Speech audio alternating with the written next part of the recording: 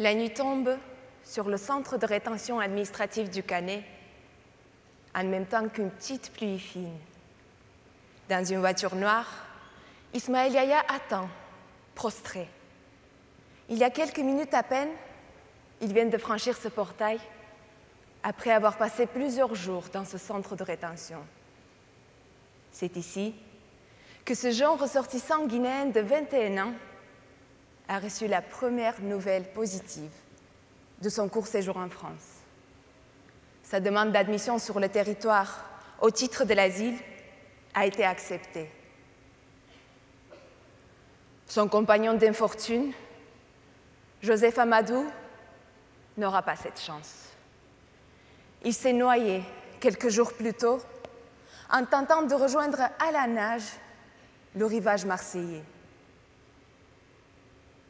Madame la Présidente, Mesdames, Messieurs les membres du jury, Mesdames, Messieurs, mais de quelle chance parle-t-on? Demander l'asile? Ce n'est pas une chance, c'est un droit. Un droit prévu par les textes les plus solides du droit national, européen et international. Cependant, lorsque les autorités étatiques dérogent à ces textes, le droit devient une incertitude dont on peut être le bénéficiaire avec un peu de chance ou au contraire, en être privé, privé parfois au prix de notre vie. Joseph Amadou a été victime de cette deuxième option. Lorsqu'à la frontière maritime de Marseille, la police française a ignoré le droit subjectif de cet homme en refusant d'enregistrer sa demande d'asile. Lorsque la police française a violé le droit positif en se disant tenu d'une obligation de renvoi par le même bateau de réacheminement. Et surtout, lorsque la police française ne lui a pas notifié ses droits les plus élémentaires. En fait, ces deux jeunes hommes ont quitté la côte guinéenne à bord d'une pirogue avant de trouver refuge sur un bateau plus robuste en direction de l'Europe, but de leur voyage. Après 25 jours d'un périple épuisant à bord d'un cargo parti de Dakar, ils arrivent enfin au port de Marseille le 10 janvier 2014 et ils sont amenés à terre par les autorités. C'était la première fois depuis le 15 décembre 2013 qu'ils ont pu quitter ce bateau. La police aux frontières refuse d'enregistrer leur demande d'asile et leur notifie un refus d'entrée sur notre territoire. En effet, l'article L213-2 du Code de l'entrée et du séjour des étrangers et du droit d'asile prévoit que l'accès au territoire français peut être refusé à tout étranger qui ne présente pas les documents exigés, dont la présence constituerait une menace pour l'ordre public ou qui fait l'objet d'une mesure d'éloignement. Après la notification de la décision de refus, l'intéressé a le droit de rester sur le territoire français pendant le délai d'un jour franc. Les policiers soutiennent que ce droit a été notifié à Joseph et à Ismaël et que ce sont eux qui auraient refusé de cocher la case du délai du jour franc, renonçant ainsi à ce droit. Pourtant, les faits ultérieurs prouvent le contraire, car rien n'expliquerait que Joseph et Ismaël se jettent dans l'eau glacée en sautant du bateau, sauf leur désir de rester en France. Et même si les policiers avaient notifié ce procès verbal avec les deux cases à cocher, le débat n'est pas là. Le débat ici est beaucoup plus profond, car cette procédure du jour franc en elle-même est une violation évidente des droits de l'homme. Car présenter une fiche à lire et à cocher à un étranger qui a passé 30 jours sans manger ni dormir, qui ne comprend peut-être même pas le français, et encore moins la notion du jour franc, me paraît absurde. Il est évident que ce délai du jour franc devait être effectué d'office, ainsi que le droit au recours effectif de l'étranger, qui pourrait contester cette décision de refus auprès d'un juge. Certes, l'immigration représente un enjeu politique majeur auquel l'État doit faire face quotidiennement. Certes, il peut exister des faux réfugiés ou des abus du droit d'asile. Mais cela ne justifie aucunement que des personnes subissent des traitements inhumains alors qu'ils ont quitté leur pays d'origine, abandonné leur famille pour justement fuir ce genre de traitement inhumain et dégradant. En fait, en l'espèce, il n'est même pas question d'un problème d'immigration, ni d'autorisation de séjour. Il est juste question d'enregistrement d'une demande d'asile.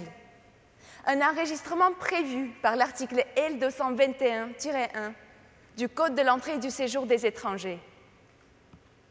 Une simple formalité qui pourrait sauver une vie jeune. Une directive européenne nous donne la définition de la demande d'asile.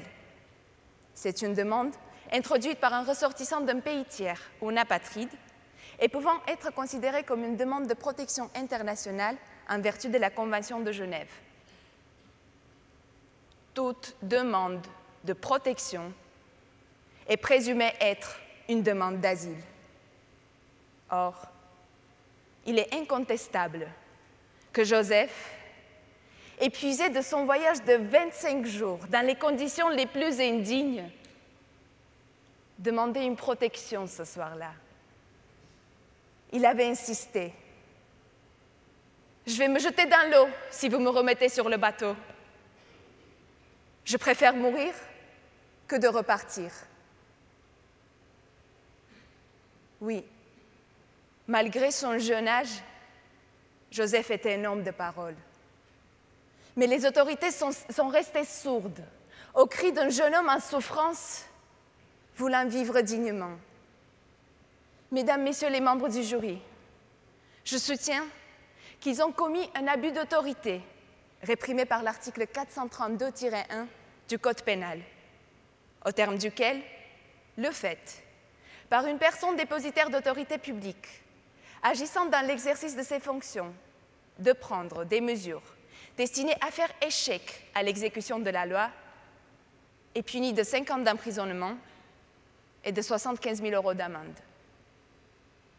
Il apparaît en effet qu'en refusant d'enregistrer la demande d'asile que les deux gens guinéens avaient exprimé dès leur premier contact avec les agents de police, les autorités publiques françaises ont porté une atteinte grave au droit constitutionnel de la demande d'asile, le droit que certains auteurs appellent un droit de rattrapage lorsque tous les autres droits fondamentaux de la personne sont bafoués. Ils ont fait échec à l'exécution de l'article L221-1 du Code de l'entrée et du séjour des étrangers. Oui, la demande d'asile de Joseph devait être enregistrée et étudiée par les autorités compétentes. Non, il ne devait pas repartir. Et non, il n'est pas reparti et non parce que les gardiens de l'ordre public lui ont laissé cette possibilité, mais parce qu'il voulait à tout prix trouver la paix et la liberté, parce qu'il avait 18 ans et il croyait en un avenir plus lumineux. Et c'est cette conviction qui l'a poussé à se jeter à la mer en plein milieu de l'hiver pour regagner la France. Mais finalement, ce soir-là, une chance était avec Joseph Amadou. La chance d'être accompagné par son compatriote Ismaël, qui témoigna, raconta ce qui aurait pu faire l'objet d'un silence. Car lorsque l'avocate du rescapé consulte la procédure pénale, elle trouve bien trace d'un refus d'entrée, puis d'un maintien en zone d'attente. En revanche, il n'y a rien sur le fait qu'ils ont été réembarqués sur le bateau ni sur la mort de Joseph Amadou, comme si rien ne s'était passé dans le port de Marseille. Les autorités ont qualifié la mort provoquée de Joseph d'un accident sur la voie publique. Mais la cause de Joseph doit être entendue et défendue, puisque la justice ne s'arrête pas aux portes de la mort. Elle ne doit être limitée ni dans le temps, ni dans l'espace. C'est cette justice absolue qui doit être effectué au nom de Joseph, au nom de toutes les victimes du naufrage de Lampedusa, au nom de tous les hommes, femmes, enfants, vieillards, qui sont contraints de quitter leur pays natal en quête d'une vie nouvelle, d'une vie libre. À l'heure actuelle, certaines personnes et organisations ont revendiqué une justice pour Joseph Amadou. Une plainte pénale pour abus d'autorité, délaissement ou non-assistance à personne en danger a été déposée auprès du parquet. Une marche en mémoire de Joseph a été organisée à Marseille. Malheureusement, ces démarches ne rendront pas Joseph à sa famille. Cependant, je porte l'espoir qu'elles permettront d'éviter la mort d'autres demandeurs d'asile, qui, en arrivant aux frontières de la France, méritent que leurs demandes soient enregistrées et étudiées, méritent un autre traitement que celui dont ont été victimes Joseph et Ismaël. C'est pourquoi aujourd'hui je défends la cause de Joseph, mort pour sa liberté, et d'Ismaël, libre au prix de la vie de son ami, pour faire appel à tous les protagonistes des droits de l'homme pour tenter d'infléchir une politique qui fait tant de victimes et de dégâts humains. Une politique menée à Marseille, en France, pays des droits de l'homme. Nous devons combattre pour une vie libre, pour que des gens comme Joseph ne retrouvent pas cette liberté dans un monde parallèle.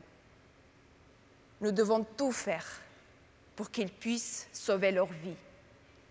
Nous devons tout faire pour qu'ils puissent vraiment vivre. Vie ne peut donc signifier que vie méritant ce nom, Vie au sens plein du terme. Exil, certes, mais ni prison, ni bagne. Vie qui est vie.